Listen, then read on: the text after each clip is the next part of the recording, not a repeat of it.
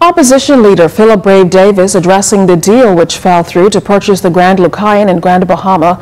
Last week, Press Secretary Anthony Newbold told reporters that the Whynn Group's proposal was unacceptable to the government, but Davis is blaming the government for the deal not being finalized.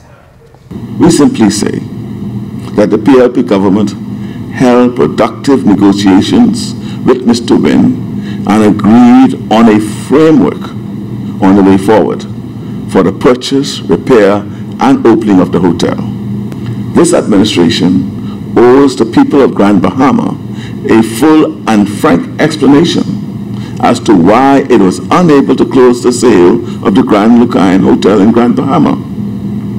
The lack of transparency and uncertainty due to misleading announcements surrounding the hotel's future, in my view and our view, have irreversibly eroded both hope and confidence of Grand Bahamians